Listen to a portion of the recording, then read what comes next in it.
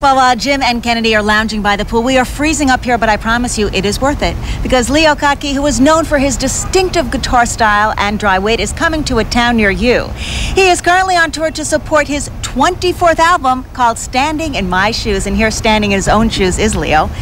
Thank you so much for being a trooper on this freezing New York June day. Oh, thank you. It's a pleasure to be up here. It's beautiful. Talk to me about the title of this album, Standing in My Shoes. I've tried to uh, think what it must be about. I, it was a tune that I wrote uh, 20 years ago, something like that. I think maybe it means I'm civilized. Up, you know, up until then, I walked around bare feet, got worms, showed up in your living room a little.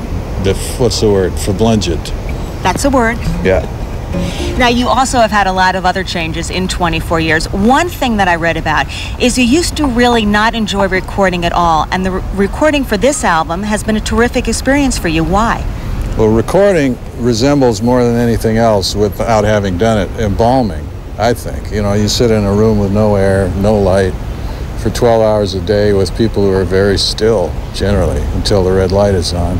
This time around, I went back to work with a guy named David Z, who I'd known uh, when I started out. He and was, he's the producer of this album. He is, and we did it in Nashville, which is a congenial atmosphere to be working in, and, and we finished it, which is the best part about the record.